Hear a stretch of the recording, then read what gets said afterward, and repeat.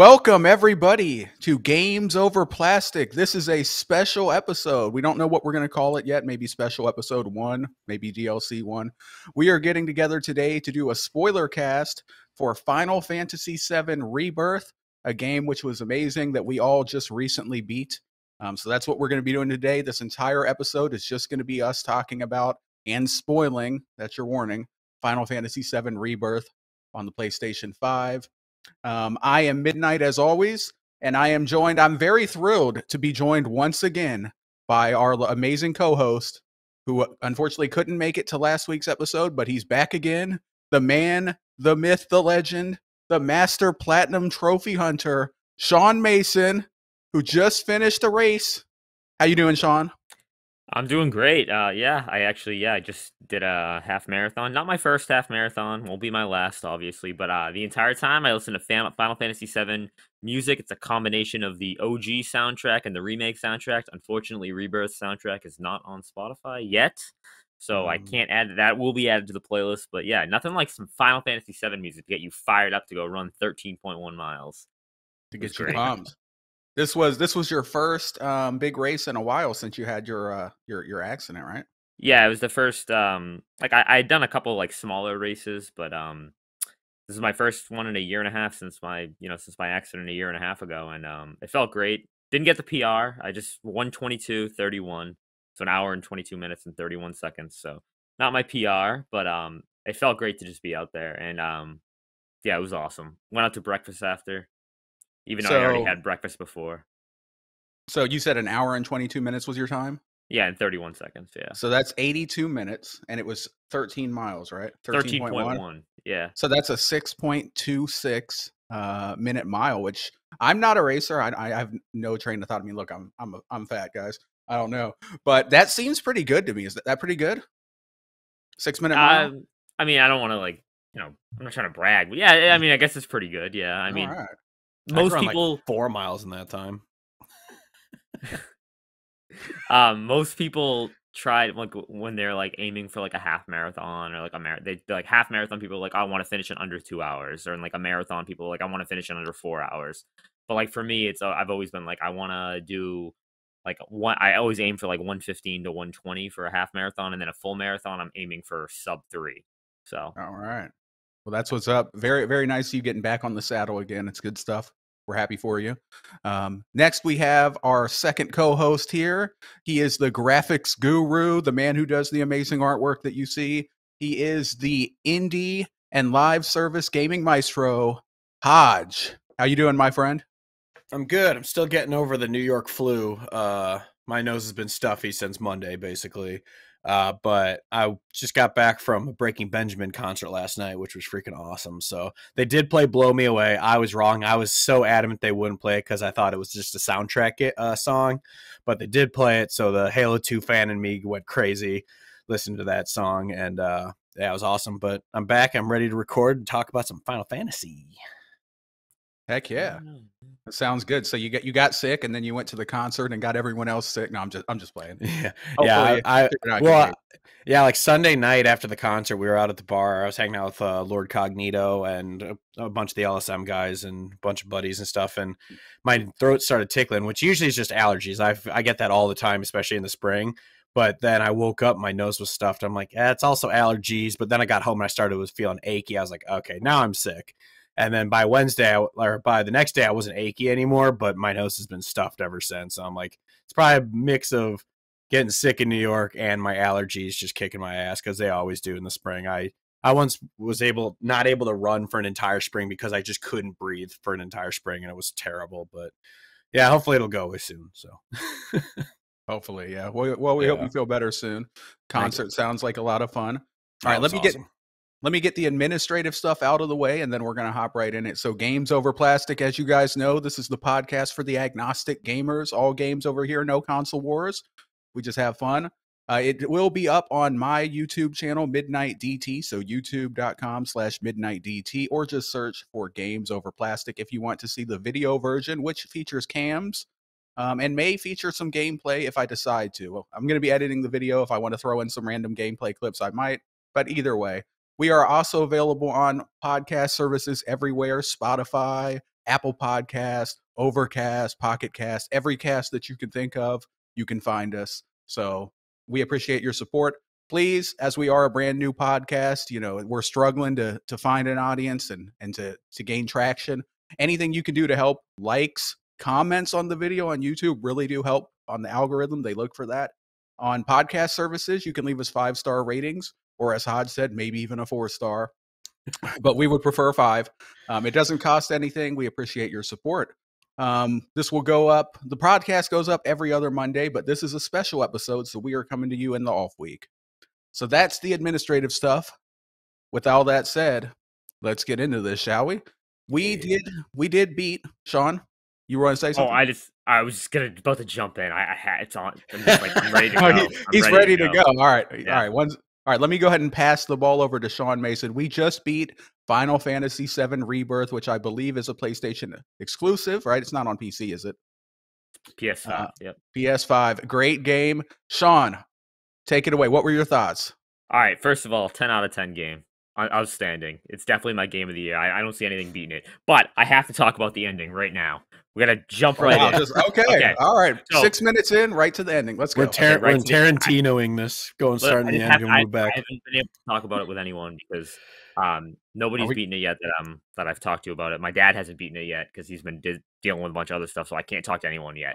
But okay, so when Sephiroth comes down and Cloud blocks the stab over Aerith, I was like, "Oh my god, she's gonna live! She she's alive!" And then you get the like the noise, yeah. and then you realize she really did get stabbed, I started crying. I, I couldn't believe it. Aerith really grew on me in this game. I'm telling you, she really grew on me. I was not a big Air, not that I wasn't a fan of her, but throughout this game, she really grew on me. I think her character was great, and I started crying. I'm like, dang it, they're really gonna kill her. But she's alive in another world, in another timeline with Zack.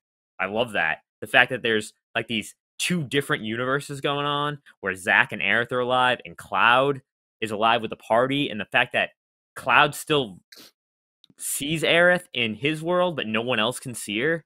It's crazy. I my I have a feeling that the only people who like can acknowledge that there's like another world, I guess, where this where I guess they um all of them died at in Midgar before they left. The only people who know that are like Zack, Aerith, and Cloud. And the only reason why I think Cloud and Zack know is because I think they're linked together. And oh my gosh, playing as Zack against Sephiroth at the end there, oh my gosh. I, I was just I was blown away, but I was just a ball of emotions. I couldn't believe it.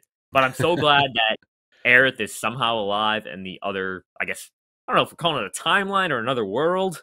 But yeah, that's that's my thoughts on the ending right there. Sorry. Okay, I do just want to remind everybody, um, you, my co-hosts, of course, um, and the the cast here, that we will not be spoiling the original Final Fantasy VII or um, uh, what what was the other one called? Crisis Core. Crisis Core. We're not going to spoil those because one of the hosts here is a loser and hasn't played the original yet. We're not going to say who or anything, but um, he's. I'm going to play it this year, so please don't spoil that. But we are definitely going to spoil Rebirth and you know remake is fair game too. Yeah. I, I am going to say some of the spoilers for Rebirth though are going to spoil the original game.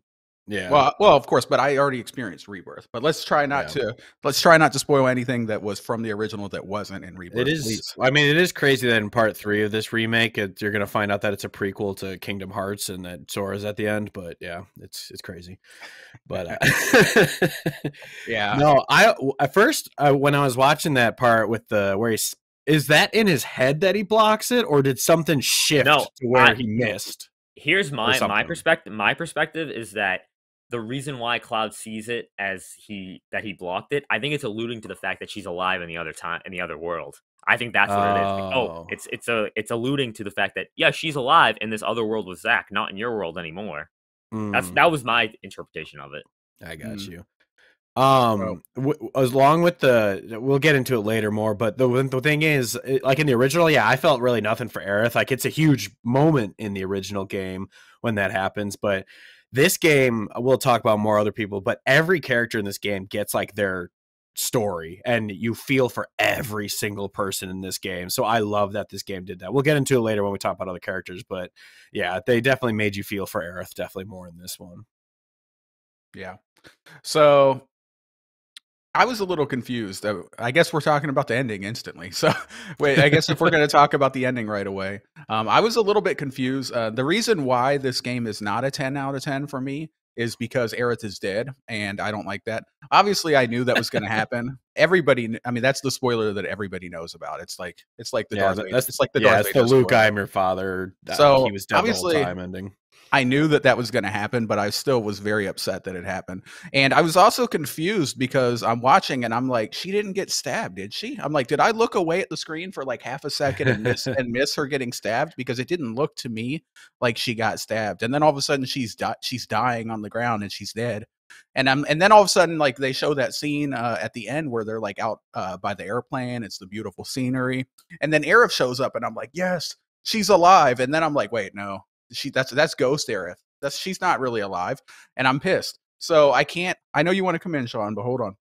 I can't give this a 10 out of 10 because they killed Aerith. She might be alive in another world, and they they uh, they kind of hinted that maybe she'd be come back because they're talking about reunion, you know, whatever reunion. So maybe they're going to bring Aerith back to life, um, which I believe would be a change of pace from the original. But they could do that. They're they are making some changes.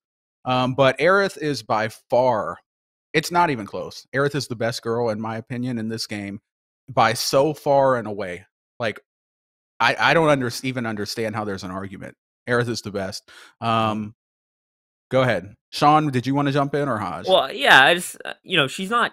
I mean, she's dead in in the world we're mainly playing in, but she's still alive in the other in the other world. And you know, kinda take I, I a- don't take need a- that Marvel know, BS, Sean. I kind of take offense to the fact you're you're you're taking a point off the game here because a character you liked died. You know, I don't I don't think that you know that takes them off of the quality of the game here. Right. Well, to be fair, I'm not taking a full point off. I'm just saying it's not a 10 out of 10. If I had to rate it, it was probably like a 9.4 out of 10 or something. You know what I mean? Um, but if Aerith was alive, honestly, I would be real tempted to be like, it's 10 out of 10, guys. My girl. But she is alive.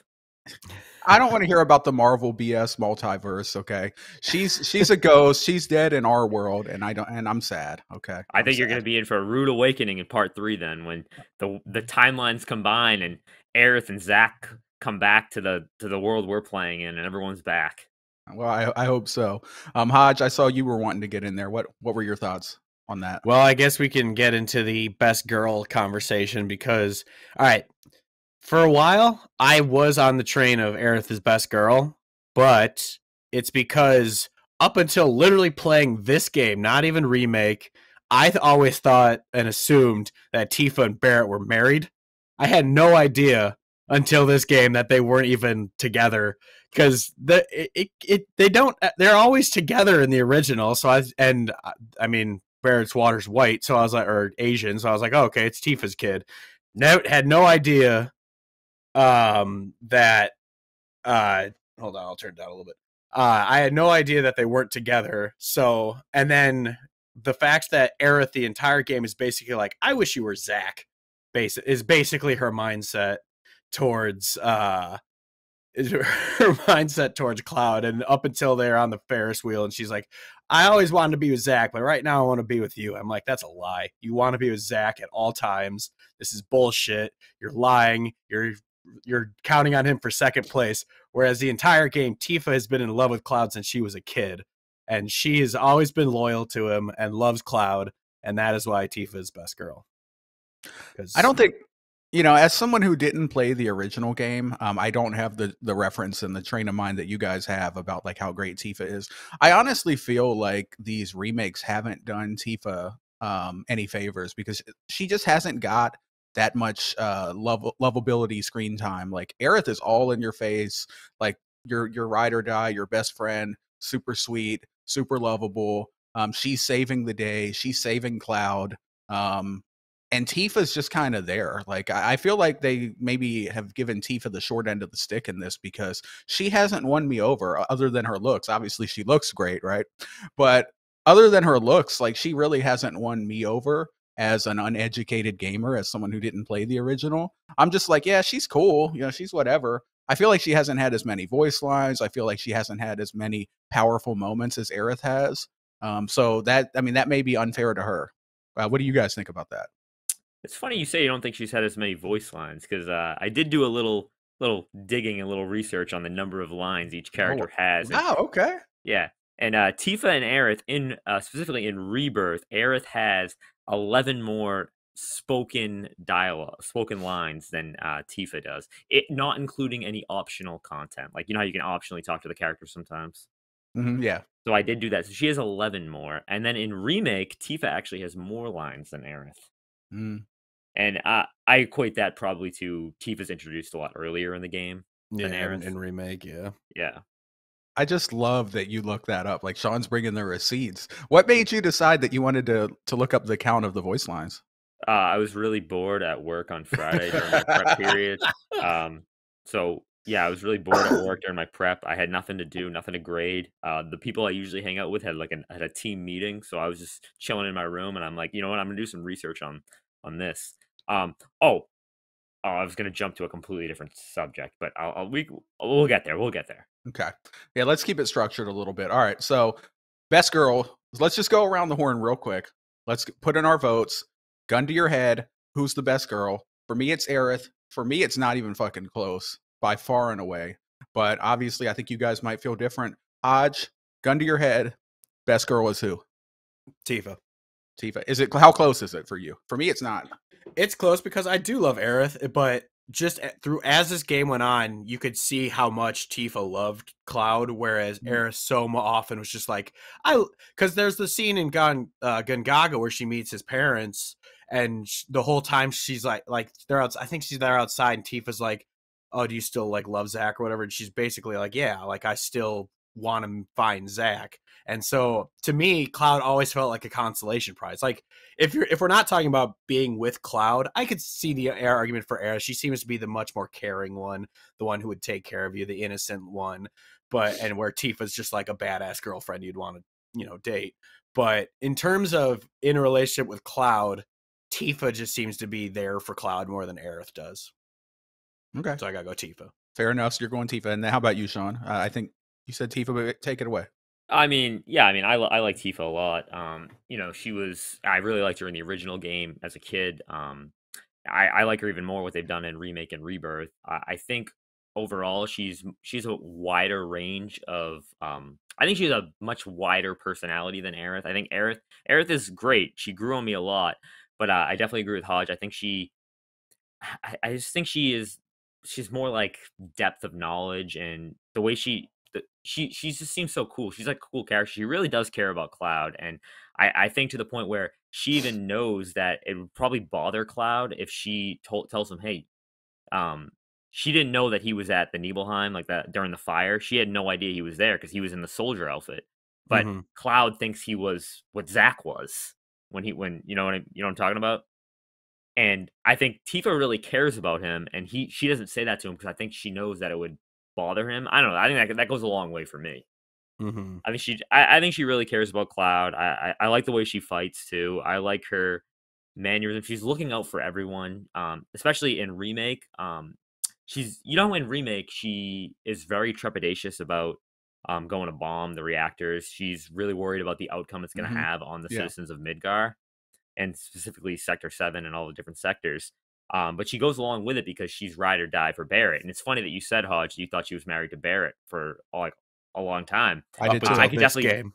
yeah, I, I could I could see why you would think that, um, just because she's so gung ho. But I think it goes far to show her about like her her personality. I th- I think she was doing that for Marlene because she knew that like without Barret, Marlene would fall apart. So I think she was so gung ho to be with Barret, make sure he's safe. He's got to say he's got to stay safe, and if I'm not there, he's not going to be safe. That because if he if anything happens to him, what's going to happen to Marlene? So I think that goes a long way for Tifa.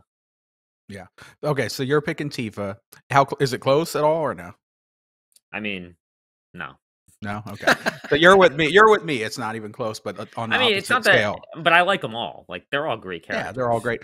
We're gonna do. I, I have a fun game that we're gonna do at the end that I haven't told you guys about. So uh, you'll see. We're we're gonna kind of rate uh, each character and average the scores just for fun. Um, but we're gonna do that at the end. But uh, okay, so there's that. So we've gone over a, a bit about the ending and we've gone over best girl. Um, why don't we go ahead? and Why don't we talk about the gameplay, the combat? Let's talk about the combat, shall we? Can I say Oh, one more thing about the ending? Please, yeah, take it away. With the epilogue, I uh, but I know I know neither of you guys played First Soldier, the mobile game. No. No. Okay, well, there's a character that appears named Glenn. Um, you know, in the scene when um Rufus Shinra when they're in Shinra's uh, Rufus's office. Yeah. and Yeah, a guy, the hooded figure. Yeah, that that, that guy's named Glenn.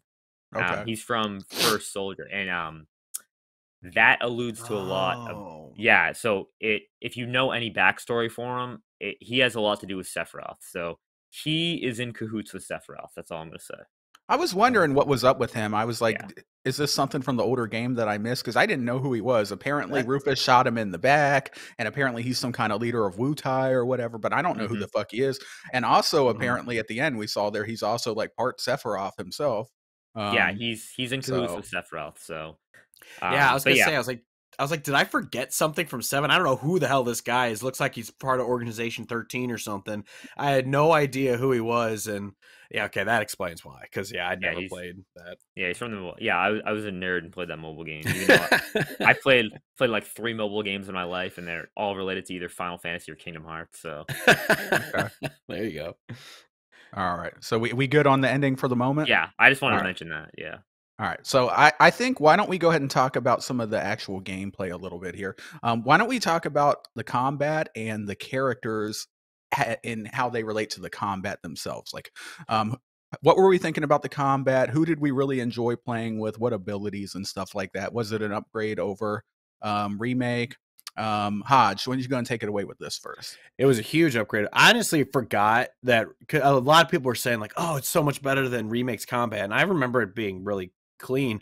But I do remember playing the Yuffie DLC in remake and finding Yuffie so fun to play with. I'm like, this is way better than remakes uh, com uh, combat.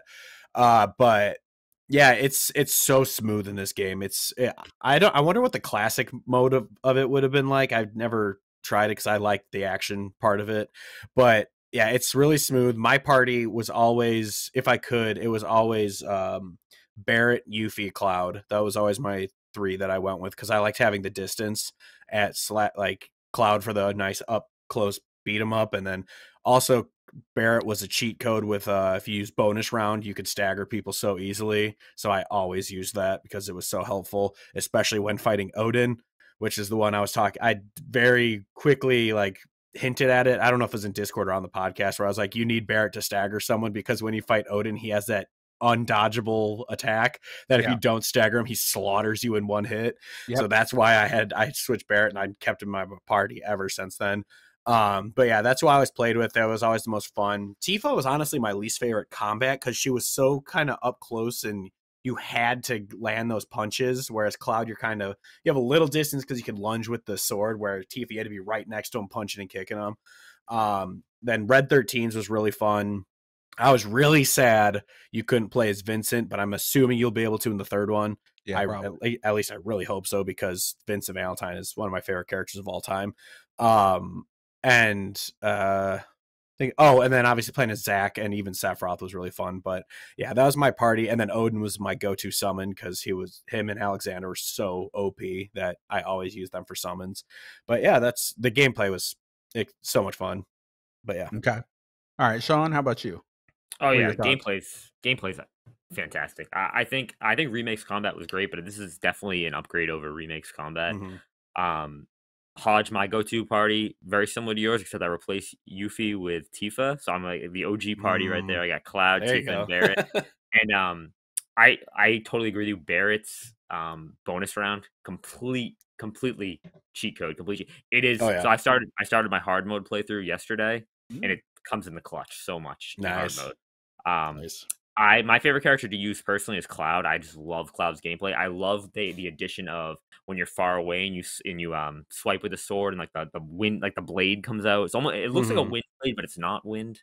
But um, yeah, yeah, I really like that, and I actually love using Tifa. I think she's awesome. I think those those punches that brings that pressure gauge just goes up and up. The stagger meter goes Mhm. up and up. It goes so fast, and I love when the enemy is staggered, where um you know you hit triangle with her, you can um make the damage boost go like up too. So I love that. Um, I like her abilities. Um, what do you guys think of the synergy abilities too? That was really I like that addition too, with the synergy Mhm. where like, you have two characters do like a almost like an animated move together. I really like those. Some of those are really good. Uh, what do you guys think of those? Uh, Alright. Hodge? You can All go. right, However you so okay, yeah. So I, I'll just talk about. So the synergy abilities were really cool. Um, I didn't use them as much as I probably should have, but like in boss fights, sometimes I would break out those synergy moves. Um, and they did a lot of damage too, especially if you uh, spec into the skill tree. Some of the skill tree items were like to increase uh, synergy damage. Um, so yeah, they they were really cool, cinematic, and they did good damage. Um, as far as uh, the combat goes, I thought the combat was amazing. I think this is like perfect JRPG combat. Um, I would I wouldn't mind if almost every Final Fantasy game going forward kind of takes this combat. Uh, maybe make some small tweaks here and there, but I think this is just it's so dialed in, it's so perfect. Um, I t- I mentioned before that my uh, my dude from remake was Barret. I loved Barret. I was a Barret main, but really Barret took a back seat in this one um, t- uh, to Yuffie. Yuffie was my girl. I love Yuffie. Um, anytime I could, Yuffie was my leader. You know, you pick your leader of the party um, because I just loved her combat so much. Like she's so fun. Um, I had like this build where I would use the plasma discharge skill so that every time you fill up an ATB gauge, there would be this big electric explosion around your character, um, which would do damage and kind of stun the enemies a little bit. Um, so I would pop that out. Um, and then I had like uh, I was throwing out the little windstorm ability. I was throwing out the elemental jutsus where like you could use fire or cold attacks, etc. Um, you know, assess the enemy, see what they're weak to, pop her elemental jutsu, get in their face. Um, also, so my main party, like if if you if you could pick anybody, I think we'll go around the horn. This will be fun. Let's say you're coming up to a boss. You have access to the entire party, right? Um, my main three that I would always pick if I could is Cloud. So I got Cloud, and I had the materia, of the provoke materia on him. He's kind of my tank. Um, he's there to just do damage, be awesome, and kind of draw the enemy if needed. Um, then I had Aerith was my support. Um, I got Aerith cranked up with as much magic attack damage as possible. Um, I had auto cast and heal on there so that she could pop heals as needed. Um, and then also, this was the big thing. I got the Comet materia later on, which is like the biggest spell that I could find, I think, in the game. The Comet materia and the Synergy materia that you get later on um, on Aerith. So, what was so amazing, I'm playing as Yuffie. She's filling up her ATB gauge so fast. Every time she fills up her ATB gauge, there's this big plasma spark that does a bunch of lightning damage to the enemy. I'm all up in the enemy's face. I'm hitting them with elemental weak damage because of her elemental jutsu. And then every time I fill up an ATB gauge, I'm either using the mug ability to get in their face and steal an item, or I'm doing throwing out the windstorm. Um, and every time you do that, anytime you use an ability like the windstorm or the bug or whatever, Aerith automatically starts casting Comet because you have the Comet synergy thing um, for free. It doesn't use any MP. So she's nonstop spamming Comet with max uh, ma- magic damage while I'm in the enemy's face, static shock bursting people, beating the shit out of them. And Cloud's doing his thing with his provoke and his sword stuff. And I just found that this team was so good. Like we just steamrolled and, and demolished the the vast majority of enemies with that team. So that's that's my that's my uh my three.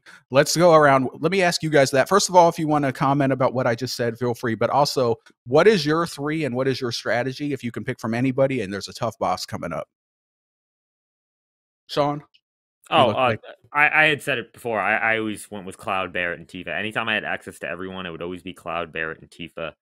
Um, and usually I'd be controlling Cloud, but I did, you know, I would switch to Barret oftentimes when the, you know, sometimes when the boss would like go high or Mhm. um, climb on the walls. Sometimes with some of the bosses, I would switch to Barret, and then once I pressured an enemy, I would switch right to Tifa and go right up there and just start punching them, punching them, punching them to just get that pressure gauge up because my whole goal is I just want to stagger as much as possible.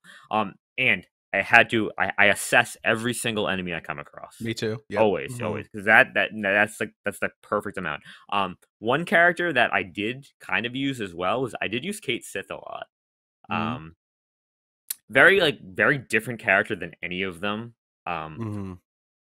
often very strange with his you know like his like a microphone basically a megaphone i guess um but he has an ability i forget what i i should have wrote it down i forget what it's called but he can jump on the moogle Yeah. and he like um smacks down with a moogle but then his gauge immediately fills back up so you can just keep doing it as long as you're hitting enemies and that was pretty cool So yeah, I use him. I never use him for a boss fight though, except for obviously in the last boss fight when you have to use him.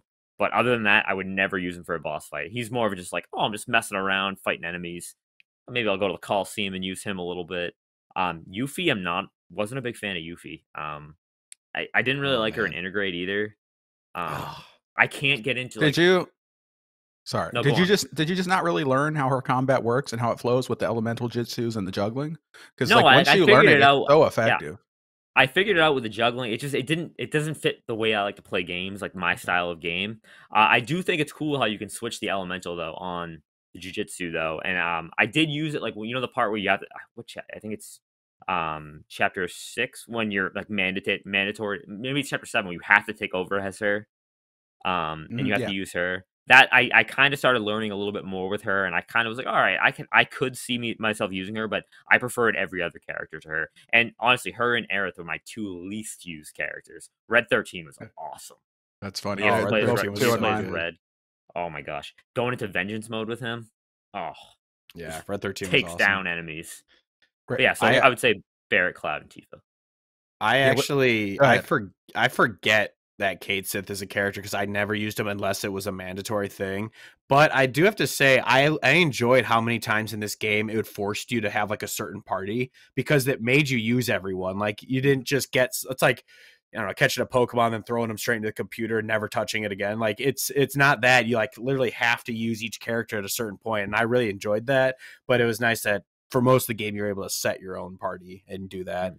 I actually used Aerith for a long time, and then un- until I started using just the cheat code of the Barret stagger because my, I don't know, Aerith was always so weak to me, and I just used her as a healer. So I, I was like, yeah, it seemed kind of like a waste of a party member for me. So after a while, I stopped using her.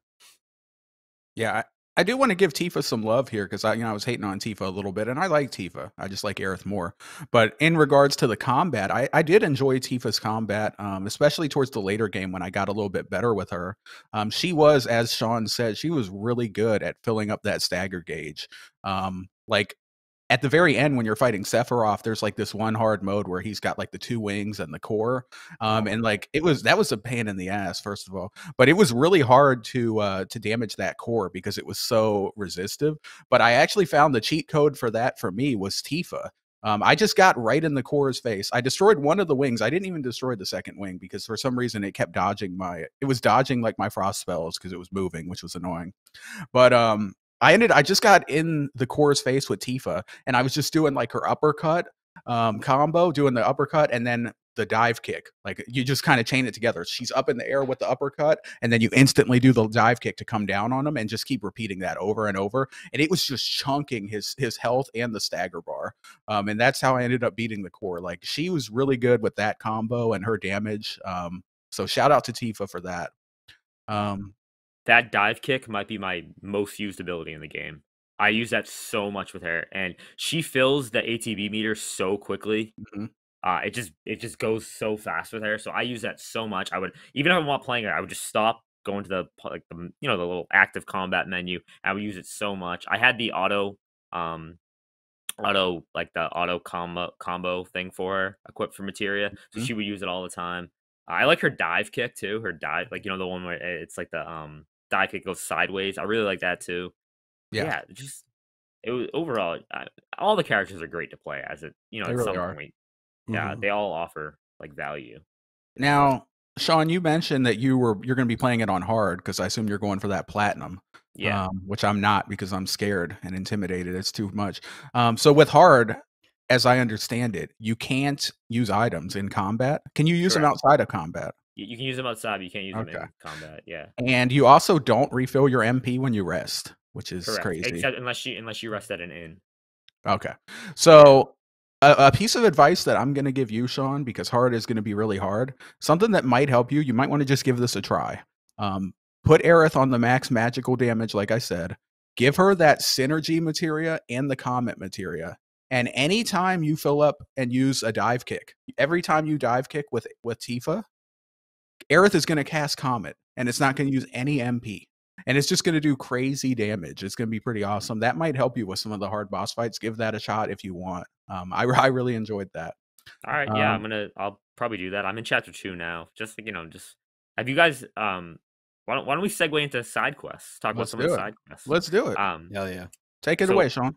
I've done every side quest that I could do already, so like I don't have to do any in my hard mode playthrough because I was not. I'm like I'm not doing these in hard mode because I just want to play the regular game. It's already gonna be challenging enough.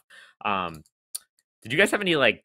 Did you? I really enjoyed all the different Chocobo side quests that they had, and I'm not the biggest Chocobo guy. Like I love Final Fantasy, but it's that's one of the things I'm not a big fan of is Chocobos. But I really liked how each region had like their distinct, um, you know, Chocobo quest, and uh, specifically, um, they make alludes to Chocobo Sam from remake, and you learn a little bit more about him, um, and like his backstory and how he kind of was more of like, you know, I'm like, I got to do what I got to do for myself. What do you guys Mhm. think? Yeah, let's make this. Uh, I- I- I'm going to let you go in just one second, Hodge. Um, let's yeah, let's make this the side quest and the side content in general discussion.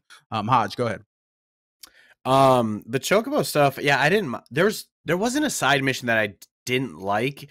The the scanning the rock where it was just hit the same three button three times or Oh, the, the same button three times. Yeah, Yeah, that one was kind of like just tell me that I'm here and it's done. I don't need to hit Like, triangle three times. Hold down the button. Like they should just made it hold down the button. Yeah, it was it was that was kind of dumb, but th- like the majority of it I didn't I didn't hate. The only only side missions I didn't like were the 3D brawler one because I was just not good at it when you had to fight the super party guy or whatever, the Shinra middle manager. Oh, This- Shinra middleman. Yeah, the, the middle manager guy. He was so freaking hard to fight. I hate Dio wasn't that bad, but because he had he had six moves instead of Dio's four, so you had to just remember two more things that you had to dodge or whatever, and I hated it. But uh, and then the chicken one, but I like how the chicken one ended, where it's like you think you're gonna have to guide a chicken for like a mile, and then instead an enemy shows up, you fight, you're like, oh thank God, I don't have to do this stupid fucking chicken thing anymore. Yeah, but, it uh, runs, it runs on its own. It's like, oh, yeah. how to get home. And then the, I I loved mostly just because of the music, the two dog missions where it's like bow wow wow bow wow wow that music that was playing. It was so stupid. I loved it. But uh, or the frog mission at uh, Junon that was hilarious. Oh my gosh. uh, having to do like the fall guys, like stay on the platform, don't get knocked off thing. That was always fun. I was thinking Frogger. Frogger, yeah, because that that's like literally a thing in uh in I'm sure it's been in other games, but it's like in Fall Guys where there's two things that are st- constantly spinning. You either jump or du- uh, duck under them.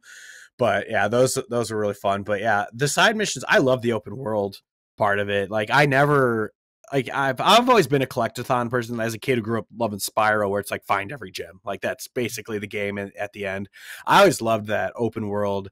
Uh, even though it's like the Ubisoft, like find a a place to stand and then it opens up wherever it shows you where everything is like that's kind of all right that's ubisoft but um i loved doing all the side missions and side quests and especially the side missions where it would improve your relationship with a character because by the end of the game i had full on every single person like i always did the optional i, I liked how to increase Yuffie's you had to be sarcastic with her and she believed it like just stupid things like that where i think it's at the beach she's like oh, I look great, don't I? And he goes, yeah, sure. She goes, I knew it. And she like goes away and she gets happier. Like it's like that kind of stuff. Um, yeah, I always loved it. I didn't, I did not try to get the S on every piano thing. That was difficult. I could not do it, even though I'm a musically inclined person. I'm like, I'm just sitting there like trying to do the joysticks, like, uh, crap, which way does this go? like kind of thing. But yeah, I loved, I loved all the side content other than those two uh missions. But yeah, it was so much. Uh, I mean, obviously, we'll get to Queen's Blood. We can make that its own freaking thing. But yeah, I, I loved, I loved it all. Okay. Uh, for me, yeah, for the side content, um, I didn't do all of it. Um, I didn't 100% this game. I'm not going for the platinum. Um, like when we started out in the grasslands, I did almost like 100% in the grasslands and I was enjoying it. Um, but as I got further into the game, this is a long game. Um, I started feeling like it felt a little bit bloated for me personally. Um, I didn't enjoy the open world as much as uh, some other people, as much as Hodge. Like I felt like the open world just felt like filler. Um, like a lot of the missions were very same-ish. Uh, it wasn't very unique. Like there was literally two missions where you literally just go up and scan a rock. Two different ones. Mhm. There was the one with the materia, uh, like with the the boss materia or whatever. You scan the rock and then you have to do the sequence. And then there's the other one where you scan the rock and then you just have to hit triangle three times. It's like the exact same thing with just a different quick time event. Um, and then the towers were stupid as hell. Like there was no point to it. There wasn't even a, a difficulty. It wasn't like in Far Cry. Like in Far Cry, uh, there's like a a, puz- uh, a climbing puzzle a lot of the time. Like you have to figure out how to climb up the towers. There's a little bit different path and, and different ways that you get up there. Sometimes this was just pr- for the most part, this was pretty much just straightforward. Climb up the tower and hit triangle, and that was it. So I thought this felt really fillerish, and I actually feel like, from my perspective, the game would have been a little bit better if the open world was a little bit smaller with less content in it because I think that would allow people to have more time to do all of the side stories, the side quests, um, without feeling like they're there for 100 plus hours. Um, like if the game was just a little bit more compacted, um, I think people would have done more of the side quests because they wouldn't feel so strapped for time. Um, and, you know, the main story was epic, as we know. Um, I think it would have been an overall tighter and better product if there was just less of the Ubisoft open world and just uh, just more time like i said more time to focus on the main story and the side missions and not so much run around a giant mountainous map and and interact with quick time events you know what i mean? But that's just my opinion. Um, i thought that brought it down a little bit but overall fantastic. Um, sean what Well, that, that, that's the that's the beauty of like open world games. Though, is like you don't have to do everything. That's like that's the beauty part of it. Um, particularly another side quest I just want to shout out is the Seaside Inn side quest with Johnny, Mm. and he's always he all those clones, and you're running around trying to figure um trying to help out Johnny get that Seaside Inn. One thing that I actually I still have not done though is um you know how you can upgrade the Seaside Inn with the, the stars by giving them all the different. I have not gotten all of them yet. I will be doing that, but Oh that is gosh. probably going to take a while Oh because yeah. you have to grind in gold saucer for a lot of those um you know points to unlock the little trophies and the little statues and all that so that, that's going to take me a while but um speaking of some side content gold saucer phenomenal some of those Yep. i know you- hodge you're not a big fan of the 3d brawler i actually really liked it it grew on me at first i was so thrown off when you get just thrown into the fight with dio i'm like what's going on right now Yeah. I actually I actually was about to lose and I hit restart checkpoint. And I ended up the last checkpoint I had was like like an hour or two behind it. And I was so I was so upset with myself. I'm like, oh my gosh. So I got back up there. I did beat him though. But um it did grow on me. It, it grew on me. Um I like the Queen's Blood in um Gold Saucer, how it's like gives you scenarios and it's like, oh, you have to do this, and they give you like cards, and it's like you have to figure out how to do this. Um, I Is it really like that. Was it the same? Because they also had that at Costa del Sol down on the Yeah. beach. You could do that same thing. Were they the same ones, or was it No, two they're different? different. They're Okay. different. Yeah. Okay. they were different. I like that. Uh, Chocobo racing, um, it was all right. I like I said, I'm not the biggest Chocobo guy. Yeah. Um, Once you got in first, you were in first. There was. It really wasn't that challenging. uh, did you It did you do the. Gold Cup? Did you do the Gold Cup? Yeah. I uh Yeah. I yeah, I for the gold cup, I I really I got there. I'm in chapter 12. I'm in uh, the gold saucer. I was like, I'm gonna get gold in the Chocobo League. I'm like, that's what I'm gonna do. So I go up there, and you have to do so many races, and they weren't hard at all. I got first place in all of them. I got first place in like five races straight. So I was in like silver or something, and I was just like. I'm bored. I don't want to do this anymore. I don't want to do another 10 races to get gold. So I just left. I was like, this is good enough for me um it because it wasn't hard at all but it was decent it was pretty fun um for like a short diversion i would say hmm Um, speaking of Costa del Sol too, uh, the shooting game, like the um with the the gun, with like basically target practice. I like I, I found that pretty fun. It was like a I nice little change of pace. I wasn't good at first, and then I I kept playing it, and I'm like, all right, I, I'm good. And then I I didn't realize uh, for the first few times you could turn the um like the your the Like, um, sensitivity. the sensitivity up. I'm like, oh. Yeah. Once I did that, I'm like, oh my god, this makes it a lot easier. Yeah. Um, yeah, you had your little um Rocket League clone game with Red 13 that one was fun. soccer ball. That Yeah, that was was, cool. pretty fun. I, I enjoyed that. Um, yeah, I, I think some of the mini games are really good. Did you guys like the sit up challenge? The sit-up challenge was cool yeah It confused me because I thought you're supposed to go at the same pace. I didn't realize you could increase it, so I kept losing. I'm like, "What this go?" And then I realized you have to just hit that tempo, but it just gets faster and faster. Yeah, And then, then I was like, "Oh, now I whooped her ass." But yeah, i thought that was pretty good um one thing that i really liked and i was upset that there wasn't more of it in this game was um what, what's that what's that mini Fort game called? Condor? fort condor yep. like when you're th- when you were just thrown into that game of Fort Condor, you kind of get like shrunk into. You're like these little uh PS2 style renders of the characters, and you're playing Fort Condor. That was Mhm. a lot of fun. Um, in my opinion, Fort Condor was way better than Queen's Blood, and I wish that there was more option to play Fort Condor because like there wasn't even Fort Condor in the Golden Saucer. Like when you go to that area where you have like all the different games, there's like three or four different games, but there was no Fort Condor. Like I'm actually surprised that? at that too. Yeah, yeah. Well, because Yeah, in was- in uh in Intergrade, it's uh like it's like a game everyone plays. It's like a Yeah, Queen's Blood I that loved it. game. So I would assume it'd be that kind of popular thing too. Yeah. And I thought it was even better in this version. I don't know. I had more fun in this game than I did on, in Intergrade. Mhm. Um, Yeah, But, I uh, think it. w- I, I think it was easier in this game for um Mhm. Fort Condor, It but was. that might be because there wasn't as many to choose from. Like I know in Intergrade, it took me a that was the last thing I did in Intergrade was getting all the Fort Condor. But I think because there were so many of them, it was just more difficult.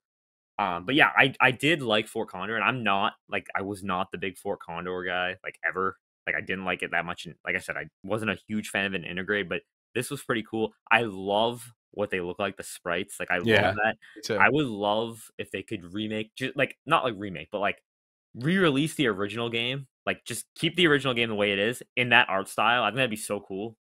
It'd be fun. yeah. Yeah. Um, do we want? Is there anything else we want to talk about on side quests or open world before we switch to Queen's Blood? Uh, I think. Uh, one thing I'll say that was kind of annoying is uh, when you were in, Co- I think Cosmo Canyon, and you're trying to get the chocobo or whatever, or you had Oh to my do those. You had to do those floating ring things. Um, not, not getting the chocobo itself, that wasn't too bad, I don't think. But those stupid races or whatever, where you had to you had to get so many points going through the rings, those Yeah. were a pain in the ass. And there was one that I had to restart like twelve times, and I was getting the- very was it- angry. It was the second one. It had to be Yeah, the second one. I think it was one- the second one. yeah. Yeah. So when I was at that point, I remember I posted in Discord. I go, "This is probably the my only huge gripe with this game is the gliding slash flying mechanic with the chocobo is horrendous. It is so bad. Once Yeah. you figure it out, it's not that bad. It's just because it's the same gliding technique as in the Arkham games, where you have to dive and give yourself the momentum to go back up. And I didn't true. know yeah. I didn't know that at first because I kept I was like, wait, do I go down or do I go? Like I thought it was like a choice of which way you go, but then I found out no, you have to dive to get back up to those ones up there. And so I I aced them all like after once I figured that part out. But I can understand. There was one, I think it was that second one. That is the one I did have to restart the most. But e- eventually, I was just like, oh, this isn't that bad.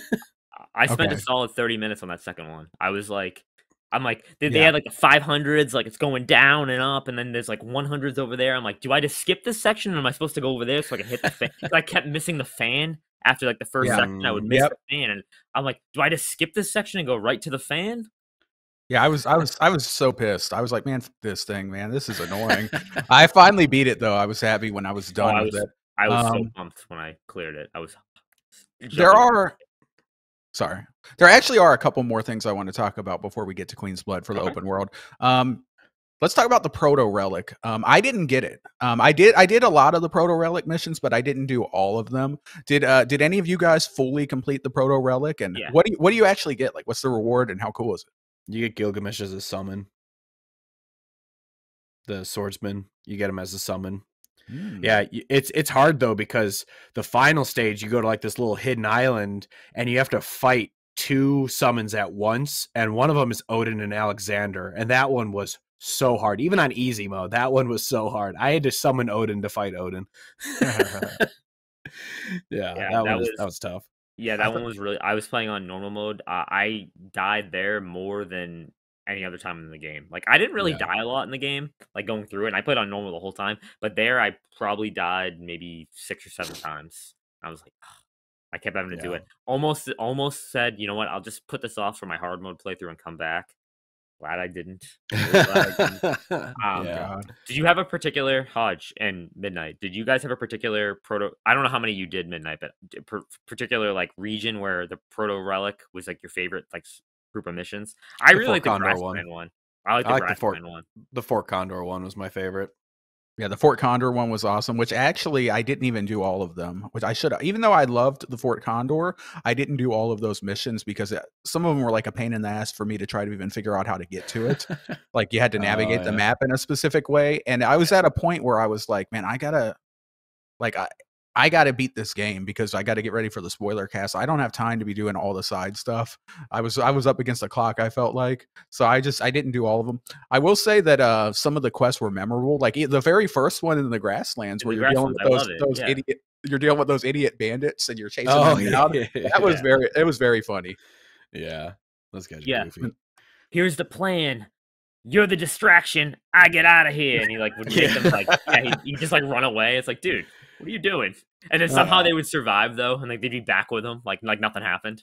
Oh those yeah. dudes were funny. They're like playing dead and stuff. Like ah. At, Yeah. See, at first I thought those were gonna be all the proto relic missions for all of them. So like when I got to uh, Junon, I'm like, oh, it's not. They're not here. I'm like, okay, so it's gonna be different for all of them. Okay, Is, yeah. um, but that was a nice throwback to remake. I did like them in remake. Yeah, that was cool. That was funny because Yeah. you met those guys in remake in like the little train you subway met them, and they, area or they whatever. just would keep appearing, and you fought them in the Coliseum. Those Yeah. dudes are they, funny. They, they yeah. think they're so tough. They're like, oh, um, um, oh yeah, we're the best. How about this? Here's another side content that I really enjoyed. I bet you guys probably did too. Was the Pirate King quest where you had to sail the seas? And uh, did Oh, you guys do that? You you Yeah, I the sea. yeah. You had to go to the four locations on the map. You fight a boss at each one. You get the little piece or whatever, and at the Yeah. end you end up getting like uh like a compass, a compass that shows you where those uh crafting materials are in the sea. what Um, do you craft with those? I just picked them up, but I never used them on anything. it's an item for um transmuting or whatever like high end gear but i never did Oh, i never did it either i guess i didn't unlock those gears somehow I haven't Yeah. transmuted everything. I didn't really transmute that much so far. Obviously, I have a ton of material. I'm just I'm just gonna eventually do it. Um, one another side thing that um, well, I was gonna comment on that was that eerily is similar to Kingdom Hearts three in Pirates of the Caribbean world when you're running run around the boat. That's what I thought of the whole time, and I thought of uh, Wind Waker the entire time with a map. there you go. Um, all right Yeah. I need to Are- replay. I need to replay Kingdom Hearts three soon. So good, so good. are we satisfied with side content other than queen's blood yeah. Yeah. shall we shall we talk about queen's blood now Yes, sir. all right i didn't like it so let me pass it to one of you guys to talk about what you liked about uh queen's blood who who, who wants to take it first You go, Right. Sean. fight for it Oh, I, I I adored Queen's Blood, and I'm I'm not a card game guy. I actually just started playing the Dragon Ball card game online. Shout out to the online client. Um, spent too much money on that already, but um, so I never thought I never thought I would like this, and I like I said, I want a standalone Queen's Blood game. I would love this. Um, I just found it so addicting. Like I loved in Chapter Five the tournament. Like absolutely love that. Like was so I was like, okay, let's go. Didn't lose one game in the tournament, but if you did lose, like when you were playing someone, it was so easy if you knew you were gonna lose to just pause it and restart. just hit restart. Yeah. Um, Yeah. there's so many like all the abilities all the different cards have. You can form your deck in so many different ways. Um, I thought it was really cool on well talking about Queen's Blood, going back to Gold Saucer, and one of the one of the challenges they flip you to the other side, so you're playing from the other side perspective, like Yeah. how you always, you always start on the left, but this time Yeah. you start, you start on the right, and I was like, what? Like it totally. And at first I didn't realize it, so I'm like, oh, I'll be fine. I went in there, I'm like, well, none of my cards really work now, so Yeah. I'm kind of screwed. Um, but I I liked all the different cards. You know, shout out to just the the standard soldier card that like would uh it has like the four. It's like the it's like a it's like a plus sign. Yeah, I always have two of those in my deck. Um, yeah, some of the cards are just really good. Some of them are um really cool. Like shout out to the Cactuar, where it gives you the plus three and like Mhm. the in the corner down there. I that was always in my deck. Um, when I got the Dio card, I used Dio a lot. Um, I I Yeah. loved it. I always used um I can't remember what it's called, like the serpent that every time someone died, it got it gained a power. Oh, so yeah. I put that guy in there. All, he was always just chilling in the back. So every time someone died, he powered up. And I think I would also have the chocobo because if another card powered up, that would power up also. So every time someone died, he powered up, and then my chocobo powered up.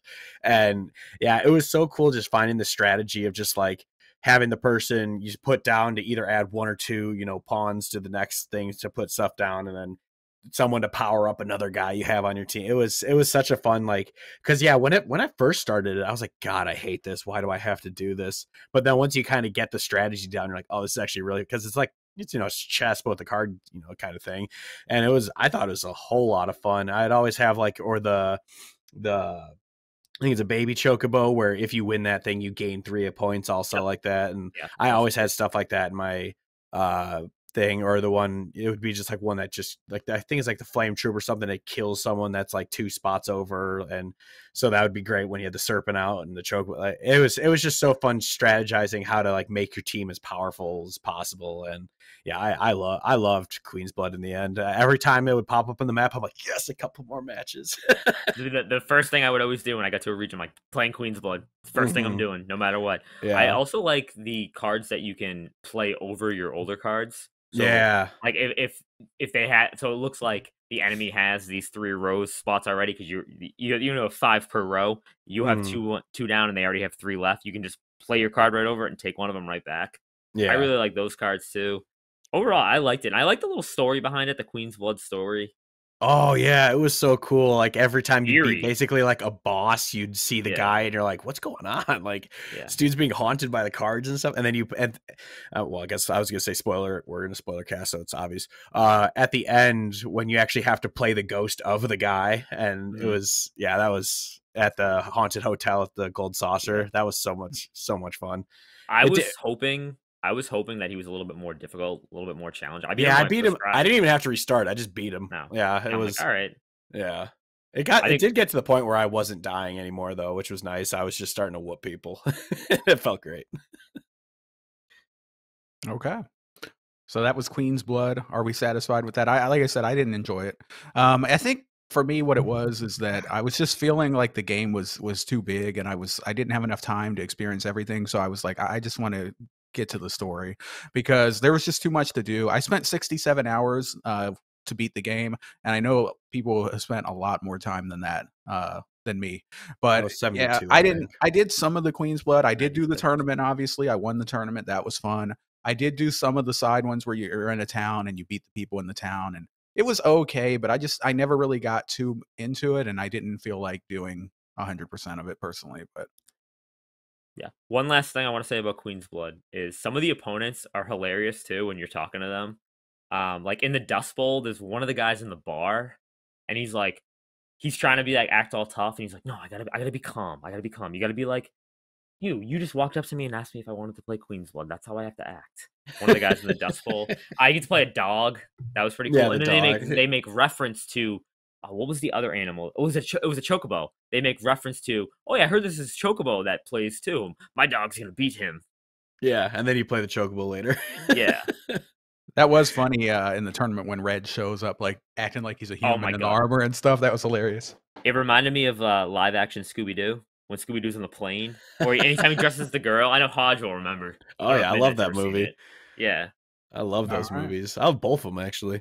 But uh the one thing before we move on, it's kind of not really Queen's Blood related itself, but I I loved the game obviously, but it, the the parts where the game felt bloated to me wasn't the open world stuff. I think I said this on a different episode. It was actually where like you forced you were forced to do random shit in the story like you had to do the Costa del Sol like find your swimsuit kind of thing you had to do the Queen's Blood tournament which I loved obviously I love playing Queen's Blood but it felt so weird that this game is just kind of I mean it's a JRPG so they do that all the time where they just add random story elements but that's the part where I felt the blow where it's like I don't need to do I just want to get to where we're going and fight the next guy kind of thing but I mean I, I loved it all but that's that's actually where I felt the bloat not the side stuff Yeah. Okay. All right. So we've talked about, you know, the combat. We've talked about the side stuff and the stories in Queen's Blood. Um, let's go ahead and bring it back to the actual story of the game. Um, we talked we talked in depth about the ending, but we didn't go into a lot of depth about the actual main story leading up to the ending. Um, so I want to take this time to just shout out any special moments in the story that really we really enjoyed or that captivated us or were emotional. Um, I'll go ahead and I guess I'll start here because I feel like I haven't been talking as much during the Queen's Blood and everything. Um, so there were a couple big moments during the story that really resonated with me. Um, first of all, there was the the Barret part uh, where Barret Oh fight, uh, ends up fighting his friend Dyne. Um, and that fight was very difficult, by the way. That was actually I was playing on normal the whole time, but I I kicked it down to easy for that fight because with that one on one Barret versus Dyne, he was kicking my ass like he was destroying me. So I ended up having to go down to easy, but then I went back up to normal after that for most of the game. But um, but that was very emotional. Unfortunately, you know, you had to defeat your friend and he dies. Um, and you find out that he's the father of uh Marlene, right? Mm-hmm. So I thought that was very emotional. Um, the Cait Sith thing where he betrays you uh, in the gold saucer, like he he takes off. I'm like, this son of a bitch, I loved you. Um, but then Yeah. he, he redeems himself in the end, though. Um, we find out that his motives were pure. Um, the reason why he did that was because he thought that the people who took that, uh, who took the relic to the temple, would probably die, and he didn't want you guys to die. So that's why he did it. Um, and he shows up and kind of saves the day there too. Um, when the whole temple's collapsing, like he holds up the thing. Yeah. Um, so I thought that was very cool and very powerful. So that's just a couple moments. I- I'll probably have more later, but let me pass it to you, Hodge. Uh, what were some of the key moments and emotional bits and things you want to talk about from the story? I am not a man like I'm not like a I'm gonna say I'm a manly man. I never cry, but like I'm not a dude who tears up very often. But that Barret part was that hit me so hard, like because I never really knew that about Marley. I mean, it makes sense. He's you know he's black, his daughter's white, so it makes sense, or half white. Uh, but like finding out that he took Mar like that Barret knows he screwed over his town. Like he thought he was going to help it, but he ended up just destroying the town. And when he thought Dyne was dead, he just like put it on himself. Like I need to take care of his daughter. Like I can't just leave her here. And so he takes care of Marlene. He loses his wife, which in the trial part where he loses his wife again, you're just torn apart. And um yeah, that the whole Barret part, like ev- like I said, everyone gets their thing. Like you find out Vincent's, you know, kind of thing. Cait Sith's part's great, yeah, where everyone, yeah, he's like, I knew this would happen, but it still hurts just as bad, or whatever he says, and uh finding out, you know, you know, Tifa kind of through the going through the whale, kind of seeing her past and all that. Like everyone has an amazing story in this, but Barret's just that one was so heart wrenching and good that I was just oh man, I lost it after that. I like I even messaged everyone. I'm like, just everyone know, chapter eight, you're gonna cry, like kind of thing. And that's what hit me the hardest. Uh, but obviously, the whole story overall, it's a great story. I, I love it. From I'm still confused about the whole multiverse part of it, but we'll probably it'll wrap up in the next game. But for now, I'm c- confused as hell about what's going on. But uh, but yeah, the it just just and then funny finding out. I don't think this was ever in the originals where you find out Red 13's kind of a kid when he gets back to Cosmo Canyon and his voice changes. You're like, wait, what? like, and he's like, he's like, I basically had to act like I'm older than I am, or else you wouldn't have respected me, kind of thing. Well, And uh, what's he? what- Sorry, what's up? what, I didn't play the original. Are they voiced in the original, or are you just reading No. text? It's just text boxes. Okay. So that's why I, like they I don't ever remember them saying something of like, oh, your your your attitude's changed kind of thing. Like that never happens when you go to Cosmo Canyon. So but I so I thought that was kind of goofy. The trial bit with him, I wasn't as huge on. It just f- kind of felt like, hey, he has a wall climbing commit mechanic. How do we utilize it? Like that kind of thing to me. But uh but yeah, it's that's it all goes back to the Barret mission was or story was by far my favorite part of this game and that's what sticks out to me the most Were there any other uh, moments uh, that were really resonant or emotional with you besides that? i really liked actually in the Cosmo Canyon when it's aerith giving her speech and it cuts over to cloud and it's like either smile at her uh, tell her to wrap it up or like nod or whatever it was i think i just did a smile which actually ended up being funny because he does like this really awkward like like he doesn't know how to smile kind of thing and but er- but Aerith is so sweet that she knows he's really trying to encourage her and I thought that moment was really sweet too but yeah there's there's a lot of moments in this game that are and then or uh, this isn't really well we could if we're going to talk about characters later I'll bring it up later but uh because there's a side character of finding Cisne in this game was really cool but No, go ahead and talk Uh, about it now. All right, so if this is she's a character from Crisis Core, which since you haven't played it, you probably didn't know who Cisne was when you got to Gongaga.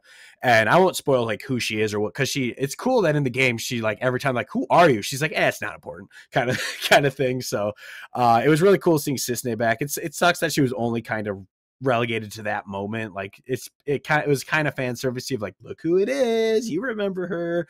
But uh I did enjoy the whole thing with her and uh Aerith, you know, obviously talking to the parents. I, I liked the the story part of Gongaga, but I didn't like the open world in Gong, uh, Gongaga.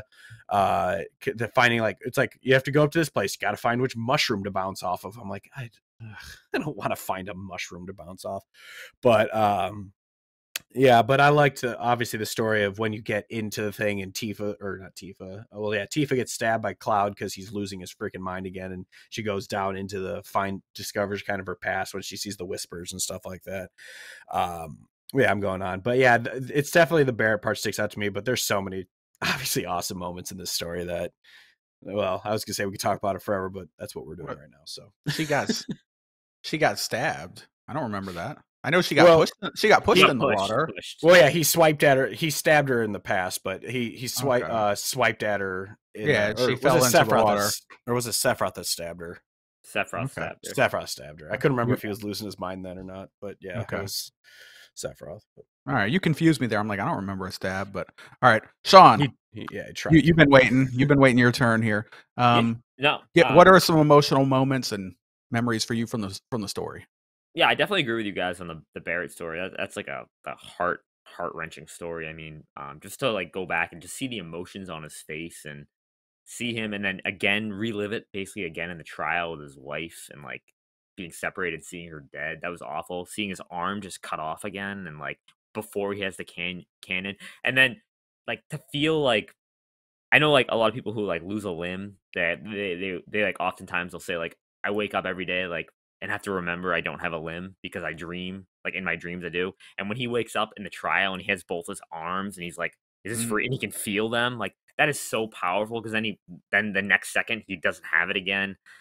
Um, that was powerful. Fighting your basically Marlene's father, your best friend, the one that you feel responsible for basically screwing over, and you feel responsible for screwing over the whole town Yeah, um that was that was just heavy heavy stuff um i really in chapter 13 those trials basically all the characters basically reliving like pretty much like the worst moment of their lives Mhm. uh, I I- know what you're saying about red 13 which is like kind of running up the wall but i like the story aspect it, it basically shows you like yeah, like how he basically got captured by hojo and like he tattoos the 13 on him that's how he gets his like red 13 i'm just gonna call you red 13 you're a mhm. red dog um, yeah, that was pretty powerful. I just um have Yuffie having to relive basically the end of Intergrade and just like see like the, Mhm. the trauma on her face.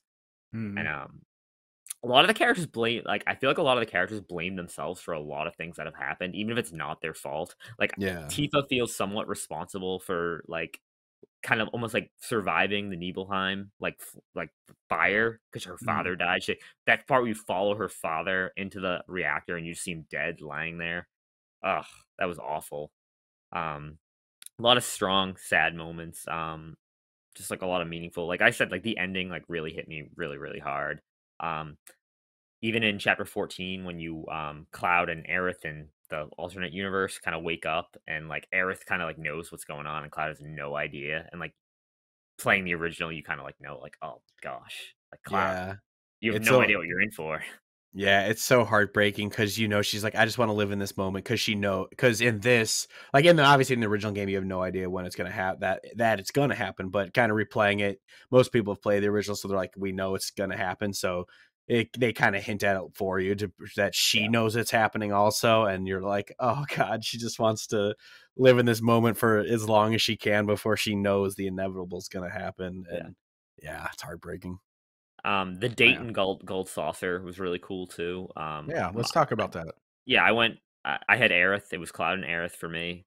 Um, watching the movie actually thought was really cool. Getting the S rank on that, like, Yeah, um, that when you're in there and like uh, the characters are like Barret's there and Red Thirteen, and you're like fighting them, but it's like a quick time. You're pressing the buttons. I got an S rank my first time. I was pretty happy about that. But then you know, going on the Ferris wheel, like we said, and just like walking around, uh, it just it adds to the depth of the characters. Um, another really cool moment for me is just you know anytime you woke up like cloud would go to bed and then all of a sudden you wake up and you're Zack and you're in sector 5. First time that happens after the initial time when you play through him but the first time you go back to him i was like what's going on like i had no idea what was going on i'm like what do you mean like they're like they had the X's on Barret. T- like that was I was totally lost at first, but then you know as you go, you kind of fill in the gaps and stuff. That was really cool. Um, like I love Zack. I think Zack's an awesome character. So like I said, anytime Mhm. you're with Zack, it's pretty cool. And in Gongaga, when you meet Zack's parents, and you can really see like the, the loss on Aerith's face when she realized when she asked Cloud, like, "Do you remember Zack?" And he's like, "No, I don't." Like, who's Zack? Like you can see the disappointment in her face. She's like, "Oh, okay." Yeah. yeah. Yeah. Um, I think. Sorry. yeah, go on. cut no, you no, off. go on. I just did you there's wanna just keep so going? much. There's just so much to talk about. Um, so many emotional moments, but there's also like the the lighthearted moments too. Like when you're at Costa del Sol and you're doing the Seaside Inn stuff, and you're you know having a beach party, and then Hojo shows up out of nowhere, and he's like he's in a lab coat, and everyone else is in bathing suits, and you're like you're fighting with like a stick. Yeah. I fucking I fucking hate Hojo, dude. I was hoping so much that we would get to kill that mother that piece of shit, but we didn't get to. Uh, um, I'm assuming and hoping that in part three we'll get to finally kill that dude because I hate him so much. Um, You would But I- hate him even more if you played First Soldier. That's that's one thing I wanted to mention. Um, that I feel like me not playing the original and not playing Crisis Core really did me a disservice because I don't really know like anything about Zack. So like anytime like he's showing up and we're like playing as him, I'm just like I don't I don't know if I should care or why I should care. And it's hitting you guys, I'm sure, way differently because you have that connection to him. So I am this year. I'm gonna play both of them. I don't know when. I'm gonna get to them soon. I'm gonna play the original Final Fantasy VII and uh, Crisis Core um, because I feel like I'm missing out a bit there. Yeah, Crisis Core definitely gets you to love Zack a lot more. Because I actually didn't play it until this year. I knew who Zack was obviously from the original, but I didn't play Crisis Core until, uh, or was it last year? I don't know. We're in the beginning of the year, so I forgot when it was.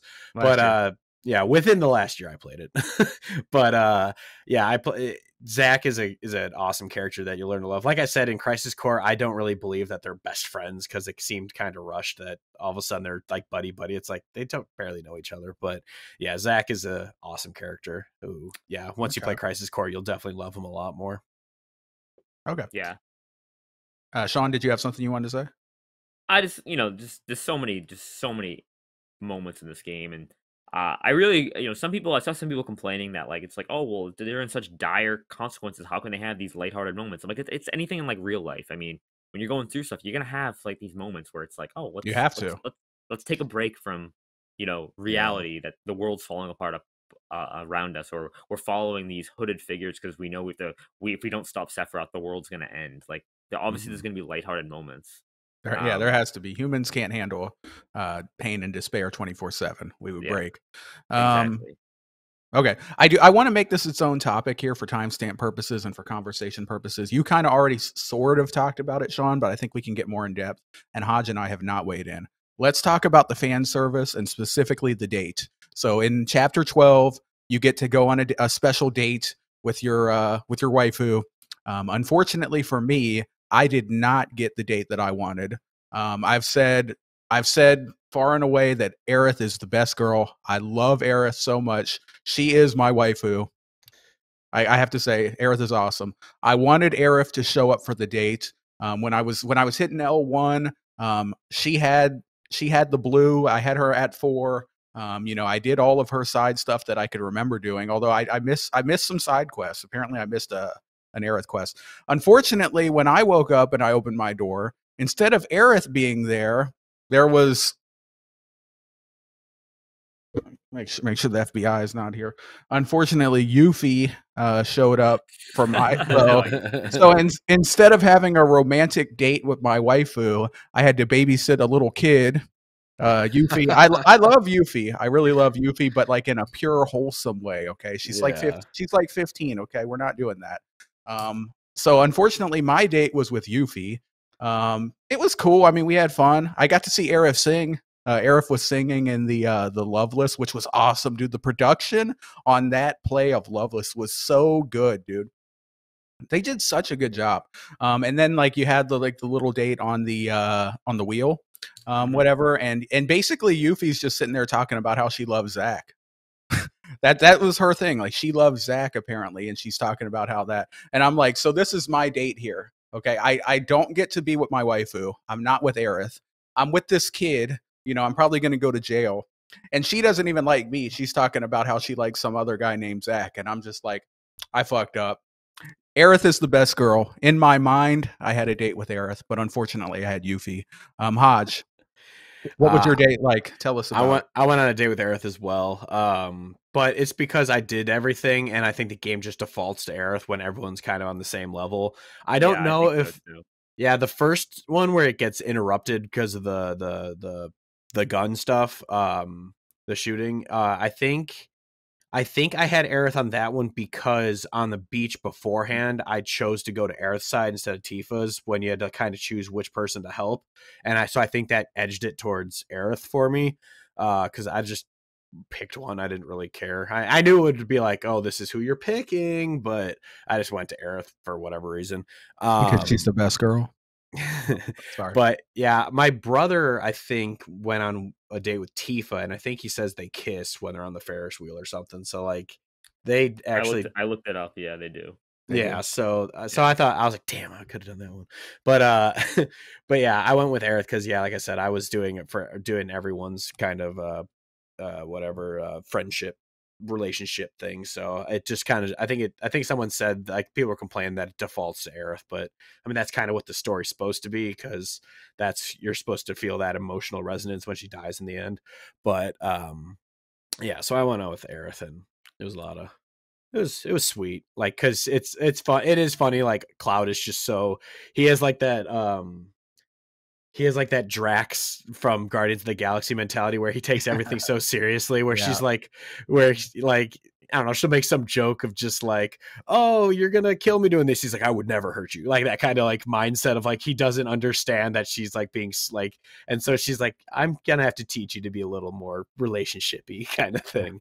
Uh, but Yeah. oh, the one thing I did love in the during the gold saucer date was the little throwback to um uh Jesse where it shows her poster and Mhm. he's Yeah. and he talks about like oh she was a great friend and all that stuff and of course Ash is like oh was she a more than a friend he's like no she's a friend and it- I let her die and I failed her and kind of that kind of thing but it was it was a really sweet little tribute to her that I really enjoyed It was.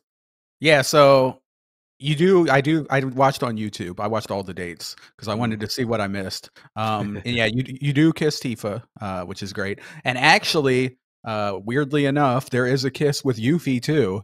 Um when you're on the when you're on the little wheel with Yuffie, she's sitting there talking about how much she loves Zack for like five minutes. And then all of a sudden, for no reason, out of nowhere, she comes over and gives Cloud like a little peck on the cheek. Um, and then she's all embarrassed afterwards. And then it does like the typical anime weeb trope where she's getting off and she's like, "Don't you dare tell anyone what happened here," and runs off all embarrassed. And I'm just like, I'm Oh just sitting there. I'm just sitting there like, one, I'm going to jail, and two, I'm pissed because I didn't get Aerith. Sean, tell us about your date, my friend. Yeah, so I had Aerith as well, and um, like I said, I, that production, you know, in the in the theater was awesome, and I, I like the little game that they had to play. But yeah, that throwback to, to Jesse was really cool. Um, yeah, really brought me back some like tear. Like that, that's like one of the only, you know, in the end game you get mentions of Jesse, Biggs, and Wedge because obviously Biggs Mhm. is in Mhm. uh, the alternate universe, but and they start talking about Wedge a little bit in one of the side quests in the Mhm. um proto relic side quest in Cosmo Canyon I think Cosmo Canyon. Yeah, I think it's in Cosmo Canyon, but like that's like the first like throwback to Jesse, and it like just brings back all the feels and like, oh, I wish he lived. Yeah. Why didn't you, why couldn't she just live? Um, but yeah, the, the Ferris wheel date was pretty cool too. Um, I did like I said, I did watch all of them. Um, funny enough, did you midnight? You said you watched all of them. Did you see the boys' night one? Uh, was Vincent that the one Cid. with with Cait Vincent Sith? Yeah, Cait Sith, Vincent, and Cid. Yeah, I did watch guy- that. That have a- was funny. Yeah, they have a guys' night. That's the one my dad got.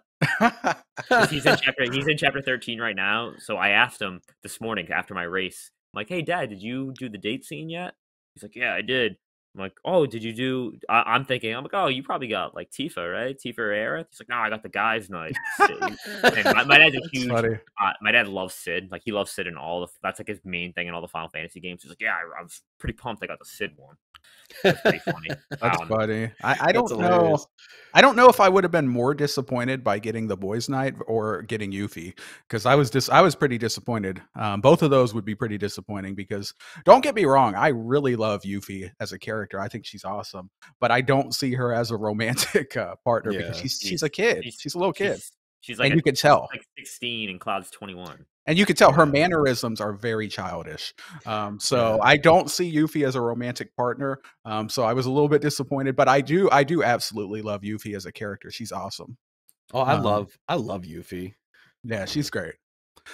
Um, do you you guys been- want to transition into the game, or was there something else you guys wanted to get to? I was gonna say one more thing. Would you have been more disappointed if Red Thirteen just showed up? I, I think I think I'd rather have Yuffie than Red Thirteen, Okay. uh, because then we're then we're getting into bestiality, and that's a bit weird. No, I'm just kidding.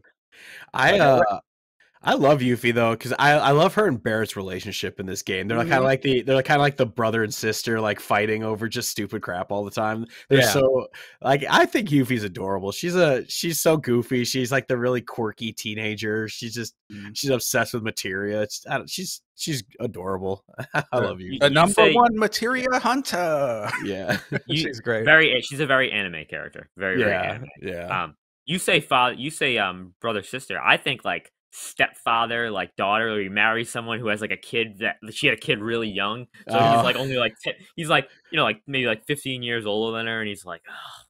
Yeah. and then yeah. somehow somehow he gets stuck with her. Yeah. Yeah. That's what I, that's what I was thinking of. All right. Yeah. So I do have a game here. I want to end the show on this game. It's going to be fun. But before I do that, I don't want to rush us.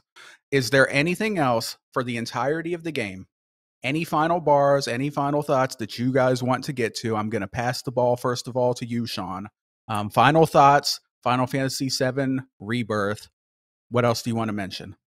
Uh, I just have some speculation about what the next game is going to be called. Um, and I know Crisis Core was called Crisis Core Reunion, but if it's not Final Fantasy VII Reunion, That's I'm what I gonna- was thinking too. I'm gonna be I'm gonna be like, whoa, they they kept saying reunion, oh, we're gonna reunion, Mhm. reunion, or uh, something along those lines. But you know, just cause, because they called Crisis Core Reunion, I'm thinking I'm like, well, will they do that Mm. again?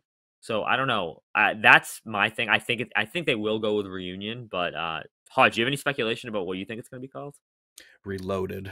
It's gonna join the Matrix universe. No. Um I don't know. Reunion, that's the one that makes the most sense. But yeah, with Like- it being Crisis Core Reunion, that that kind of that'd be kind of dumb for them to be like, all right, Final Fantasy VII Reunion and Final Fantasy VII Crisis Core Reunion. It's like, uh, I mean, that. But then again, Japanese games have really stupid names, so It is I could Squeenix though.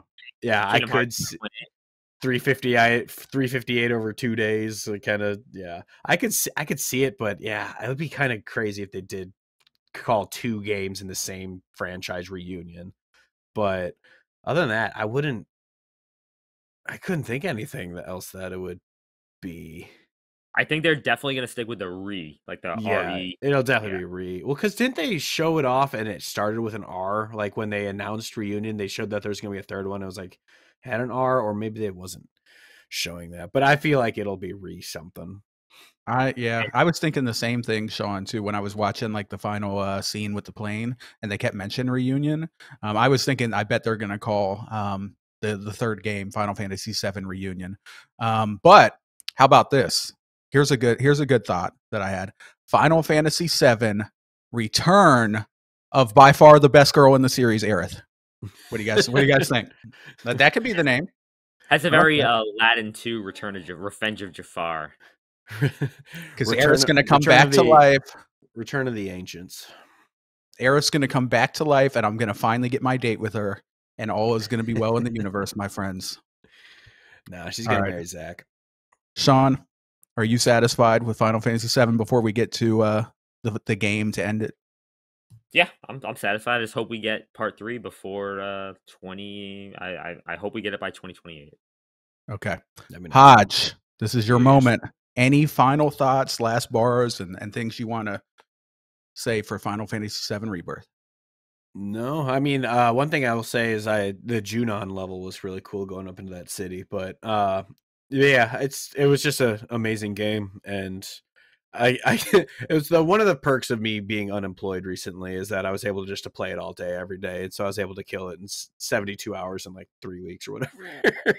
but yeah, I loved this game. I cannot wait for part three whenever, hopefully sooner than later, that comes out. This yeah, this for the the world of Final Fantasy VII is just so good. I'm gonna replay the original this year because I had I had the bug, but I was like, I gotta get, I want to start Skyrim, so that's why I went to that instead. But um, otherwise, I would have gone straight into Final Fantasy VII because I love the original, and I definitely want to replay it and kind of see where the differences are because it is cool that like I played 114 hours basically between these two games, and the original game is like a 15 to 20 hour game. So I really want to see like how much they expanded on and kind of how simple the original was. But yeah, I love this game. Can't wait for part three.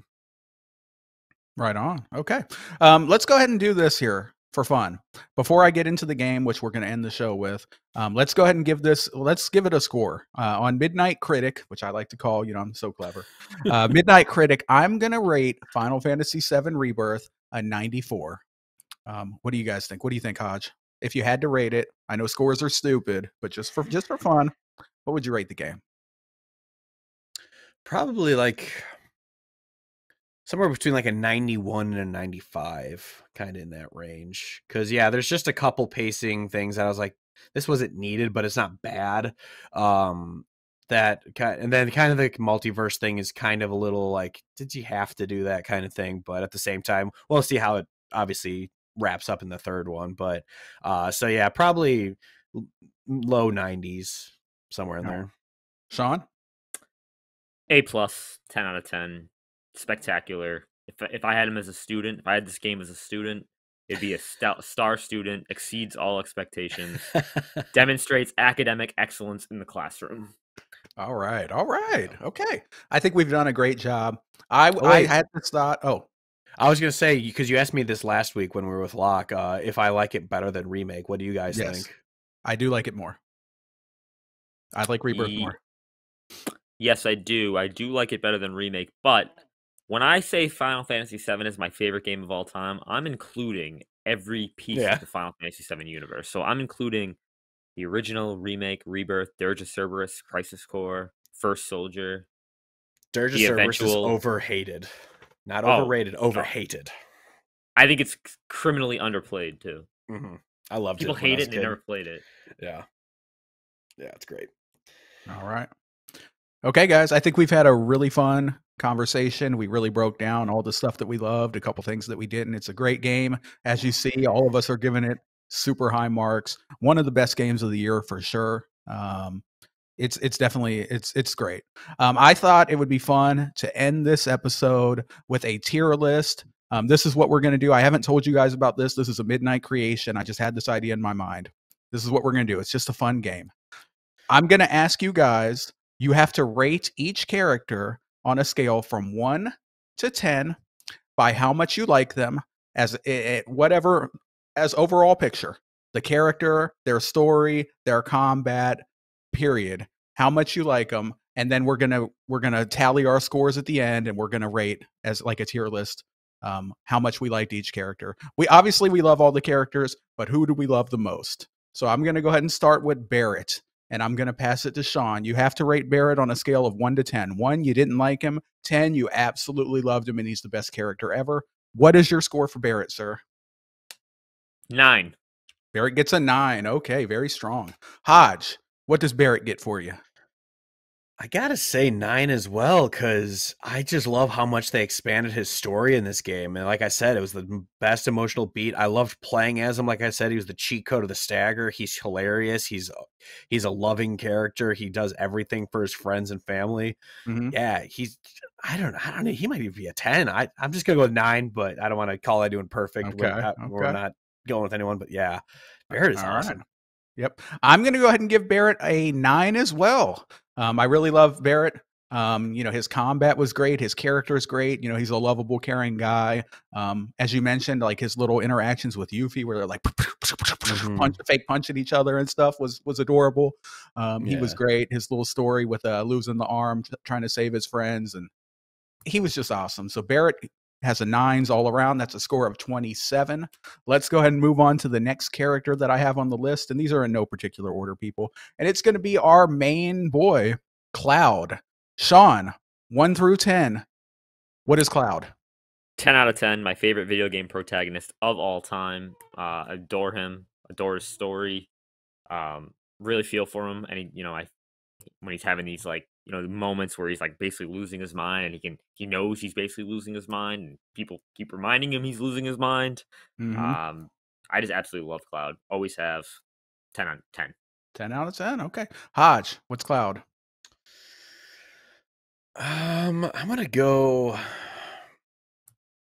I'm gonna say an eight because I know, I know, but it's it's purely because he has that kind of I don't know if it's like an anime trope or what. He has like he has that trope of he's kind of just a brick wall in terms of his personality. Like his backstory and what he's going through, his combat, it's all awesome. But he's that guy who is just like he takes everything way too seriously. And it's obviously, like I said, it's funny in like the Drax way when he just completely like a sarcasm just goes way over his head. He's just too stupid to like notice he's too serious about it. But I like I guess I mean I could see that it's that because when when you go back to his quote unquote flashbacks where he's actually Zack, he has a very upbeat Zack personality, and you could tell that that's not his character because obviously it's not him. But yeah, hi- him himself, he's just kind of a he's a little bit of a brick wall for me in in personality wise. So I got to knock him a few points for that. But other than that, like hit, what he goes through, his story and everything is awesome. But yeah, I'm gonna give him an eight. All right. I'm going to give Cloud an 8 as well. Um, because he is he is kind of boring at times. He's also very very anime anime tropist where he's dense. He can't tell at all that Aerith is clearly hitting on him and he he has no clue. And Tifa sometimes hits on him and he has no clue. It's like um and also he has moments where you know I don't fully understand what's going on, but he has moments where he's like completely being like mind controlled by Sephiroth, it seems like, and he's doing stupid stuff like attacking Tifa and uh, handing the black materia to Sephiroth. I don't know why. Hopefully, when I play the original game or in part three, they explain why. I, am guessing it has to do with something with his soldier training. Um, but you know, he's great. You know, he's a great character. Um, you know, he does his best. Um, but I'm going to give him an eight. All right, Sean. Uh, I, you look like you wanted to come in there. Did you want to defend Cloud real quick before we move on? no, i was just gonna say no he's just my favorite so disappointing he's not gonna be number one it's okay, Moving on, the next character that I have on the list is going to be everyone's favorite materia hunter, Yuffie, Yuffie Chan. Sean, one through ten, what is Yuffie? six she's a Oof, six oof, harsh. Um, No, it, it- like I My said, I still like all the characters. Now, uh, are we we're allowed to give characters the same score that we give previous? yeah, one, no, yeah, Okay. no, you're rating this character, and it doesn't matter what you gave previous Okay. characters. You're just talking Yeah, I'd say Yuffie. six. I, I I like her, but I didn't really like I said I didn't gel with her combat that well. Um, she's she's very little. She's like a little kid. Uh, I think I don't know. I like I enjoy the other characters a lot more than her. So she she's she I will spoiler she spoiler. She's gonna this is my least lowest rated character. as you. Um, not a big fan. That hurts me. All right, um, Sean or Hodge, Yuffie. I'm gonna give her an eight. I really, I like I said, I love her. She's goofy and her combat's awesome. The only thing that gets gets me is there are some times where, like, I understand what her mission and all that is. And well, especially later on in the game when she finds the dead Wutai soldiers, and that's when she has like a really good emotional beat, and she actually kind of drops the shtick of like. I'm the materia, like that kind of thing. So that is her great moment. But when it's like she basically almost dives into the water because there's a giant materia on the on the monster's belly and it's just it, there's it's there's a certain point where it's like we get it she's the materia person i don't need to hear about it every two seconds so i'm gonna knock her a couple points for that but yeah i i, I love yuffie so i'm not gonna Okay. knock it too much Right on, right on.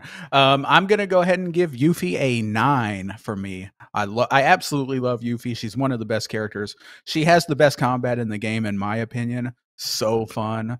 Um, she is also very funny. There was a funny moment uh, where you're going up an elevator. I want to say it was in like the canyon or something. And Yuffie goes on this long little diatribe. I shared it in Discord. She goes on this long, like minute, two minute long diatribe where she's like, We're going to form the Yuffie squad and Cloud's going to join and the whole world is going to be afraid of us and everyone's going to respect us. And, "Oh, Yuffie. And then Cloud is just like, Will you please shut up? it was so funny. Um, but yeah, I love Yuffie. She's awesome. She's a pure, innocent little kid. Protect her at all costs. Um, she's awesome. And I'm going to give her a nine. So let's move on. The next character that we have in no particular order is everyone's favorite Senate Senator, Tifa.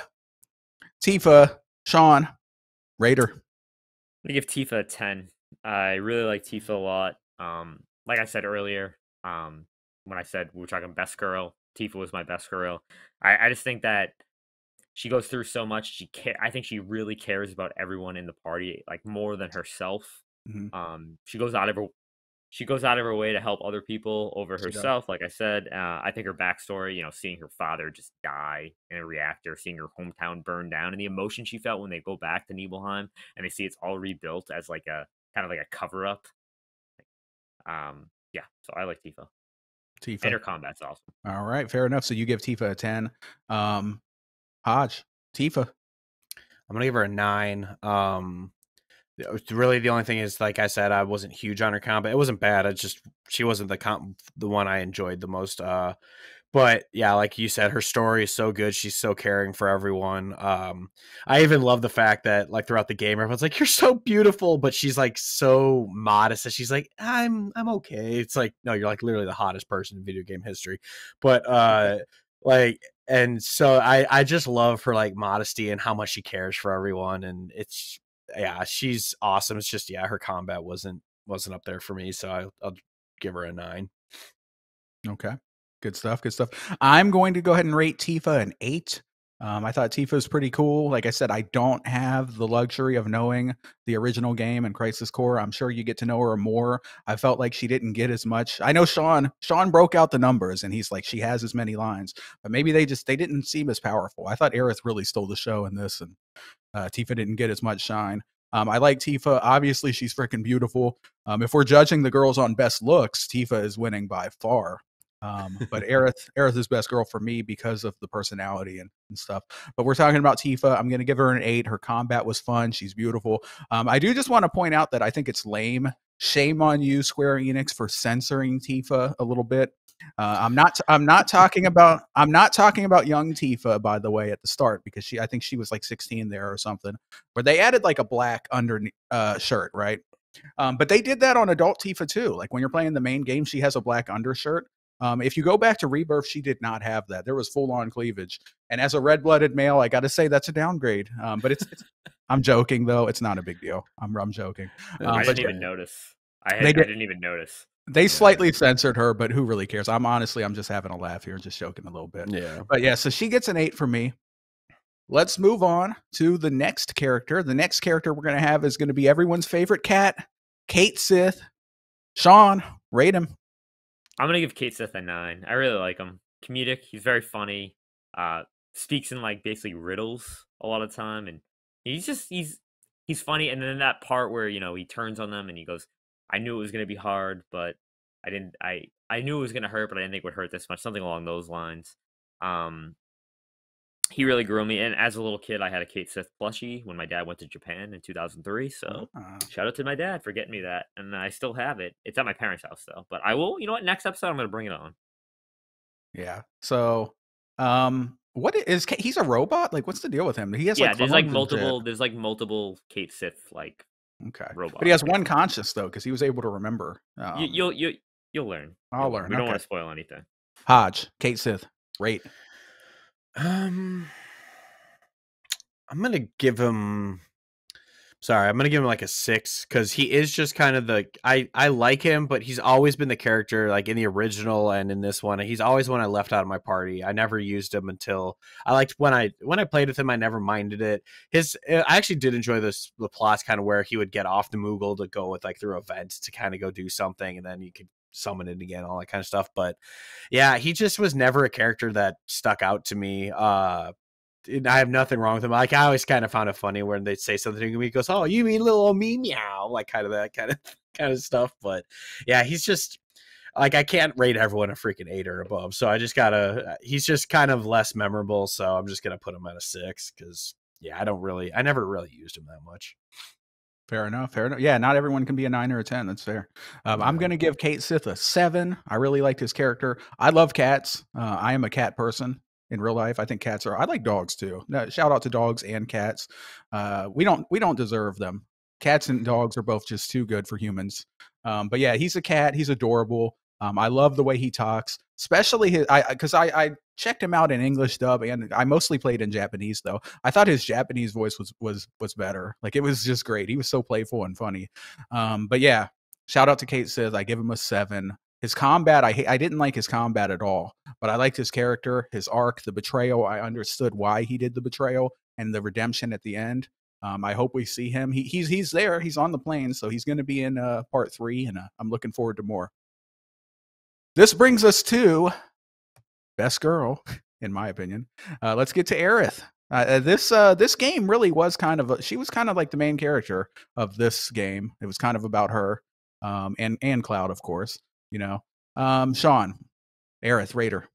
I'm gonna give her an eight. Um, like I said, she really grew on me um, in this game. Uh, some of the emotional beats, like I said, I, I teared up when she was killed. Um, glad that she's living in the uh, multi universe and Cloud can kind of still see her in the, her own universe. I have a feeling she's gonna act as some some sort of like a guide for the party in part three, and like Cloud will be like the the messenger between the two. Um, and I think eventually, hopefully, she gets to be you know brought back where they merge the worlds together in some type of a crazy comic book event. I hope Spider Man so. will be there. Hodge? Goku. um, I'm gonna give her a seven, just because I I love her and her whole story and her emotional beats, but I didn't care for her combat because she was just kind of a support character. Um, so I just gonna knock her for that. Like her her singing, the singing scene was so beautiful. I love when she's performing on stage singing all that, and obviously this the trial where she's trying to find help for a mother and all that. Like she has so many great moments and she's such a great character. Like I said, she's so innocent and she's lovely. But yeah, I just her combat, I just she was a support character and then I stopped using her. So, though I did enjoy like the temple stuff where you had to like collect the like the aura kind of stuff to build hmm. rebuild mm. the buildings and stuff. That was kind of fun. But yeah, I just she wasn't a huge I didn't wasn't huge on her in combat. So yeah, what I give her seven, I think. Whatever fair Enough. Fair enough. I am going to give Aerith a 10, 10 out of 10. She's perfect. Um, as I have mentioned so many times, I love her. Um, her combat, I will agree that her combat kind of sucks when you are controlling her. Um, it's not the best. It's just kind of slow, and I feel like the enemy's getting in on you too much. Um, but I did. She was an amazing support, like I talked about. Um, really, like like I said, crank up the magic damage on her. Put Comet and um, the synergy materia together, and have her just cast free comets nonstop while you're playing as Tifa or whoever you want to play as. She's really strong in that role, and also she is the best healer because she has the highest magic attack. Um, so I think she's really good in combat, just not so much when you control her yourself. um, but I'm going to give Aerith a ten. I absolutely love her. I pray, I pray to God that we somehow are able to bring her back to life in part three. Um, as I understand, I don't think that happened in the original, but hopefully they retcon and, and, and bring her back. All right. So that's Aerith. Let's move on to I think this is the final one. I hope I'm not forgetting anyone that's playable. We have Red 13. Sean, rate him. Red 13, I'm going to give a strong 7. He would have been an 8, but when he goes to that child voice, it didn't fit that but didn't fit what I uh, thought of as a kid. He goes to that child voice and I'm like what you sound like uh, Simba when he's in Lion King. He, the Matthew Broderick Simba. Yeah. Um, no, I, I do like him, but um, the voice when he when he goes back to the kid voice, it does kind of throw it threw me off a lot. Um, I do like his combat a lot, and like I said, that when you're in the trial and you see the backstory, him getting tattooed with 13 on him. Um, but yeah, I'd go with a seven. Okay, Hodge.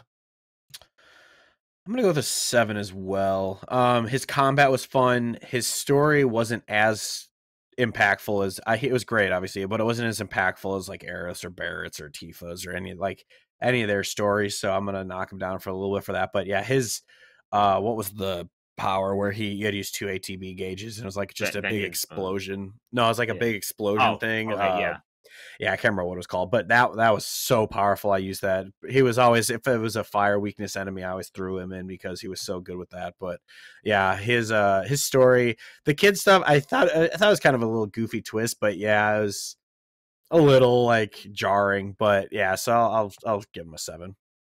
Okay, I'm gonna go ahead and give Red Thirteen a six. Um, you know his combat was cool. I thought he was really good at uh filling up the stagger gauge. He was pretty good at that. Um, but I just didn't care that much for his story too much. I thought it was kind of tragic how he was uh, abused by Hojo, and like I said, I really hate Hojo and I want to kill him. And one of the main one of the main reasons I hate Hojo so much is because of what he did to Red 13. Like during the trial, you see him. Uh, that really hit me. I didn't like that. But Red 13, I liked him, but he was probably my least favorite of of the bunch. So I'm gonna give him a six. All right. So let's go ahead and tally the results, people.